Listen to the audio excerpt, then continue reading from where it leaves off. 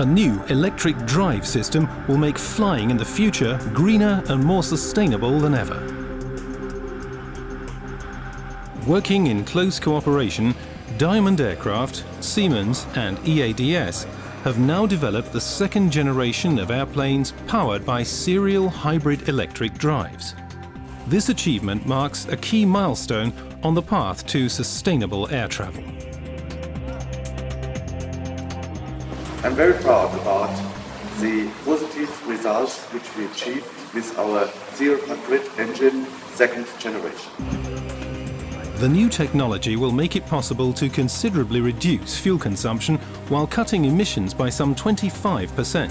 When empty, the new airplane weighs around 100 kilos less than its predecessor. For the first time, a serial hybrid electric aircraft has the payload and the range that you expect from a utility aircraft.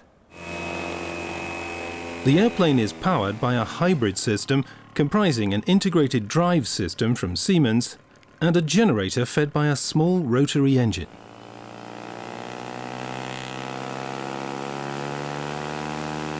The reduced weight of the electrical engines plus the high performance allows us to produce extremely efficient serial hybrid aircraft.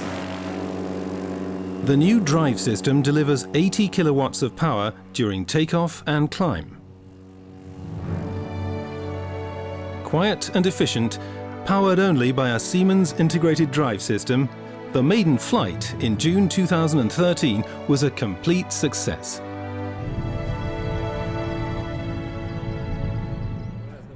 Electric drives are scalable.